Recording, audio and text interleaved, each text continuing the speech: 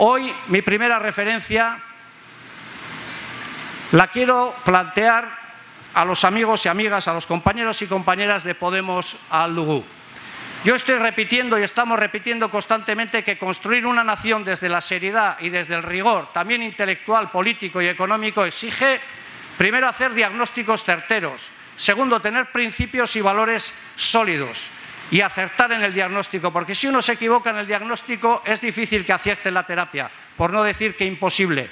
Y la pregunta que nos hacemos es, ahora que estamos en una campaña electoral en la que se hacen múltiples promesas, hay quienes nos dicen que es posible pactar un referéndum con el Estado. Y lo que nosotros y nosotras decimos es, quien dice eso sencillamente está mintiendo. Está mintiendo porque la experiencia histórica demuestra exactamente lo contrario. Ya ocurrió con el plan Ibarreche, pero es lo que demuestra ahora con el proceso que se está dando en Cataluña.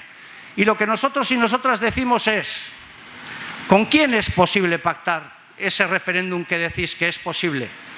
Está bien hacer referencias a la ley de claridad en Canadá, pero Madrid no es Ottawa, desgraciadamente.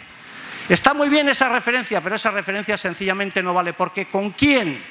¿Con quién y con qué gobierno español va a ser posible pactar un referéndum de autodeterminación en este país? ¿Con un gobierno del PP? ¿Con un gobierno del Partido Socialista? ¿Con un gobierno de ciudadanos? Y la pregunta que hoy os hacemos, compañeros y compañeras, es una.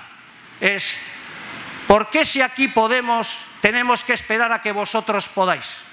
Aquí ya se puede, aquí ya podemos, Aquí se puede construir un proceso de esas características. Aquí se puede democratizar en términos sociales y nacionales el país.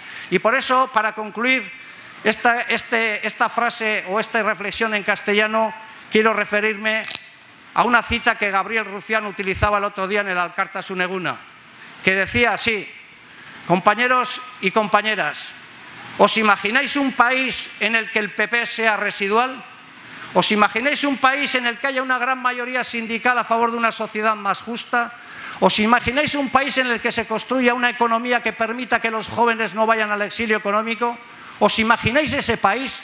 Ese país ya existe. Ese país se llama Cataluña y se llama Euskal Herria. Y desgraciadamente no se llama España, aunque estaremos encantados de que un día España lo pueda hacer.